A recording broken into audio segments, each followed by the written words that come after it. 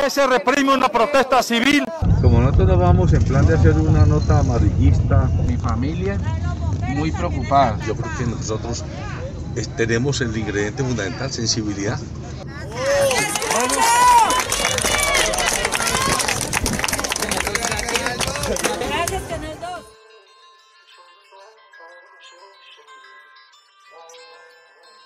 Un pueblo unido por su patria.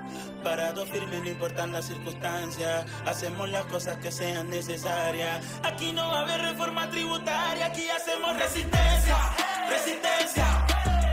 En mi caso, yo tengo que primero explicarles que cuando yo fui muchacho, yo fui dirigente sindical, estoy metido en la política de la época, dirigente estudiantil. Yo fui despedido, yo era dirigente nacional del sector bancario, estuve detenido varias veces, eh, estuve muy cerca, mucha gente del M-19, aunque yo nunca fui guerrillero ni nunca fui militante de ningún partido político organizado como tal. Fui militante de, unos colectivos que existían en la época, que el colectivo del, del Comité de Sindicalismo Independiente y Clasista, eh, yo he sido contracorriente en todo, mejor dicho, toda mi vida. Ahora me meto en estos aquelarres. ¿sí? Aquí donde ustedes me ven, yo soy líder gremial, porque yo soy empresario, yo soy periodista y soy empresario. Y tengo unos líos de la Madonna con los empresarios de gremio con el que trabajo, porque pues, están diciendo, pues, ¿cómo así que este empresario Sigamos, yo creo. se volvió, se volvió ahora A la izquierda tiene que coger mi otro. ellos me dicen el líder del paro. Un poquito la historia del canal, Alberto. El canal, mire, el canal nosotros, nosotros hemos hecho, yo he hecho periodismo de oficio desde que era estudiante del colegio porque yo tenía el periódico salesiano. Después cuando era dirigente sindical sacábamos los periódicos sindicales. Teníamos eh, varios periódicos, hasta revistas teníamos. Después en SECAN, pues yo soy el presidente de la ONG, allí eh, también hemos hecho revistas, hemos hecho periódico, hemos hecho radio desde, desde el año 88. En el año 2000 tuvimos una situación económica muy difícil, entonces nos tocó parar la inversión en radio y en el 2005 volvimos a arrancar, pero en televisión, ahí en el Canal 2. Nosotros éramos un productor más, pagábamos un tiempo para sacar unas entrevistas que hacía yo con el, el nombre del programa se llamaba Protagonistas. Y en el 2011 se presentó la oportunidad de hacer una negociación con el canal, nosotros adquirimos el canal y somos los, los propietarios del canal desde el 2012. Bueno, mi nombre es Jonathan Buitrago. Eh, elegí el periodismo porque tuve la experiencia en el colegio de mediador de paz, estudié en el Camacho, ahí también hice experiencia en la radio, empecé con la radio y bueno, sentí que el periodismo era una gran vía para tener la oportunidad de ayudar a una transformación social de un sector de jóvenes bastante vulnerables como lo son los estudiantes del Camacho y de Santa Librada, que en ese entonces pasábamos situaciones críticas. Y desde ahí fue que me empezó a gustar el periodismo, gracias a, a un gran profesor que tuve, que lo mató precisamente la policía, el señor Francisco Javier Ocampo Pacho, fue mentor mío, quien me ayudó a, a escoger esta profesión. ¿Cómo ha sido trabajar juntos? ¿Cómo se han fortalecido como equipo ustedes?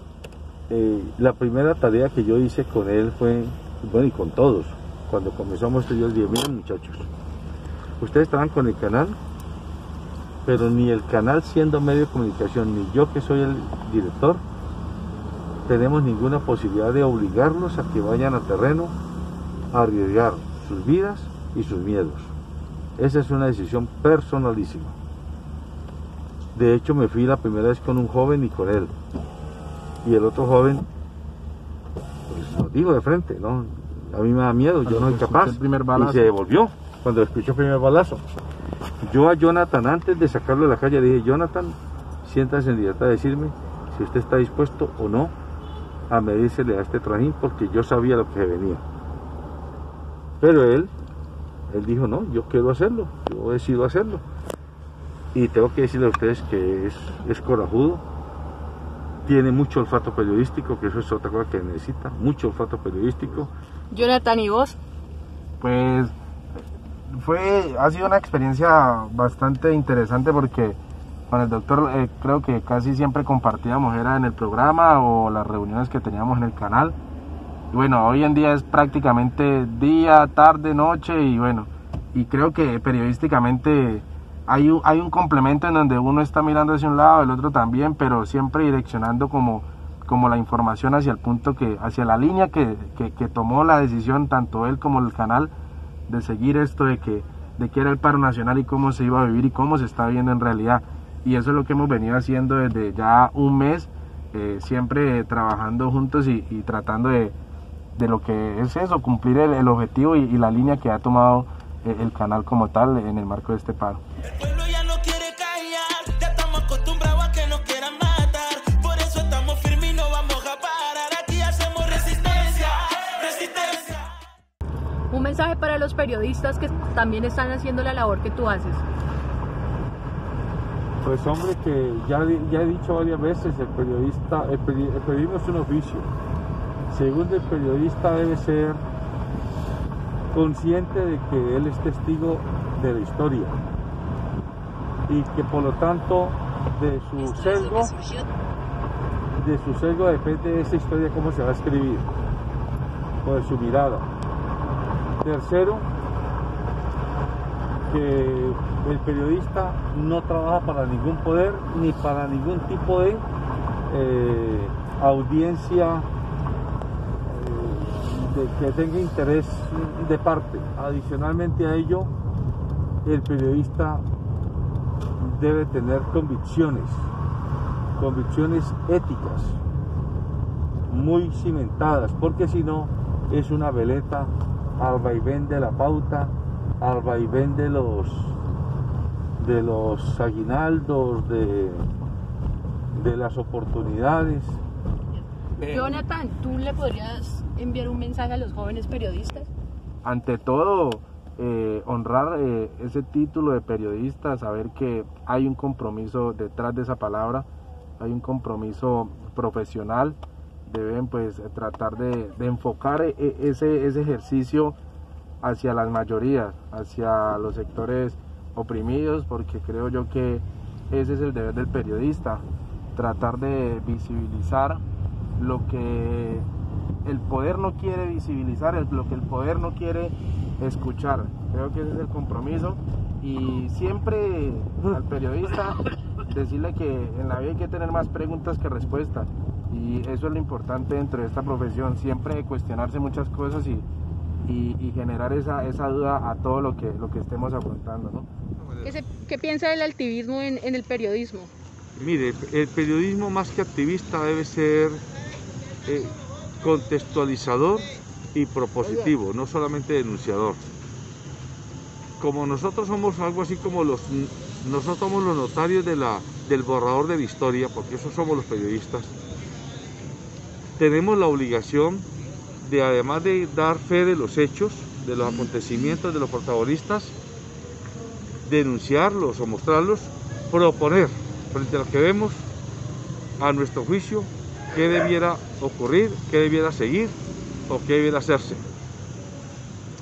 Entonces, creo yo que una cosa es hacer periodismo eh, responsable, asumiendo un balcón, como yo le venía diciendo al compañero antes de encontrarme con usted. El periodista no puede ser neutral. La objetividad no existe existe la responsabilidad periodística frente a los hechos que está comentando, denunciando o narrando. Y uno lo que está obligado es a tener honradez intelectual con la gente que lo ve, lo escucha o lo lee, para que la gente sepa de qué orilla o desde qué balcón uno está mirando la realidad. En el caso mío, la forma como yo lo hago es que yo me paro desde el lado de los jóvenes. Y todo el periodismo que yo hago lo hago a partir de los jóvenes no porque quiera hacer una defensa cerrada de ellos, fanática, sino porque creo que los jóvenes tienen esencialmente razón en lo que están haciendo. Tampoco niego que puedan haber muchachos locos que hagan cosas indebidas, pero son los menos. Son una ínfima eh, eh, minoría de esa gran cantidad de muchachos que lo que están buscando es ser escuchados, ser, ser tenidos en cuenta. Desde ahí yo hago ese periodismo. Eso no es hacer periodismo activista ni militante, es hacer periodismo con claridad ante el espectador o el oyente o el lector desde qué orilla yo estoy tomando posición. ¿Qué piensas del el activismo en el periodismo, del activismo en el periodismo? Eh, mira, creo que eh, el periodismo de cierta manera siempre tiene que generar ese activismo de, estar con la comunidad, de estar ayudando a los diferentes sectores eh, más vulnerables o, a los sectores en general. siento que el periodismo debe ser esa fuerza que ayude a las personas oprimidas, a los sectores oprimidos, a tener la valentía de, seguir luchando precisamente por todos sus derechos, como lo estamos viendo ahorita pues en, el marco de este paro nacional.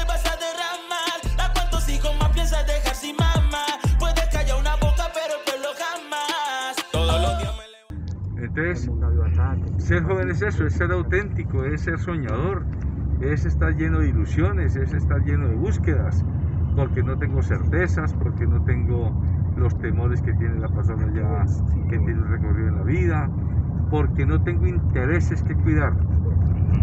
El joven no tiene intereses que cuidar. El, joven es, es eso, es el, aquel ser que va buscando vivir la experiencia, comerse el mundo. Entonces, el cuidado que sí hay que tener es que a los jóvenes siempre necesitarán acompañamiento. Más que conducción necesitan es orientación. Porque cuando uno orienta a un joven, uno, uno respeta su, su, su, identidad, su dignidad, su cosmovisión, pero puede contribuir a orientarlo. Tratando de conseguir algo, pero no puedo porque el país está muy duro. Pero Uno, no se vayan a dejar tentar por las armas por más que vengan paramilitares, no se vayan a atentar por las armas. Segundo, a ustedes lo necesitamos vivos. Tercero, vayan pensando en que además de esta resistencia, esta movilización, tiene que pasar, tiene que pasar a otro nivel de organización, tiene que comenzar a organizarse. Yo no sé si por barricadas, o yo no, tengo idea, pero tiene que organizarse. Cuarto, no se vayan a dejar quitar la representación de su movimiento, porque pueden aparecer personas que hablan muy bien, que proponen, que yo hablo por ustedes, no. Ustedes lo que necesitan es dejarse acompañar de gente que los asesoren, los recomienden, pero no que hablen por ustedes. Y tiene que quedar muy claro que el Comité Nacional del Paro no nos representa. Eso lo, lo, hemos hablado aquí, en todas las líneas la tenemos clara. El Comité Nacional del Paro tiene que dejar de hablar por los jóvenes de la primera línea.